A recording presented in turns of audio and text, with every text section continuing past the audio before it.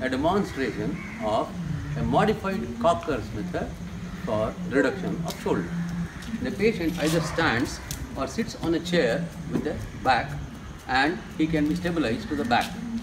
No anesthesia is needed.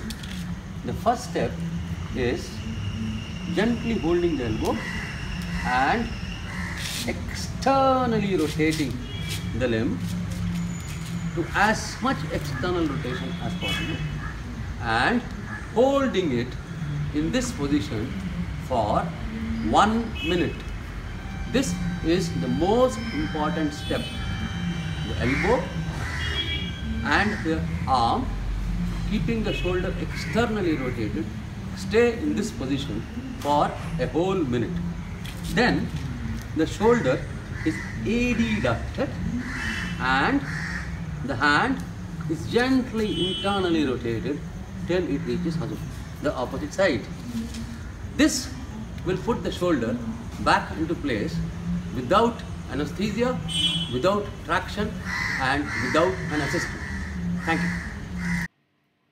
Since the day this method was posted on the internet, no day passes without getting a few messages from happy surgeons the world over congratulating me on producing a method as simple and easy as this. Thank you.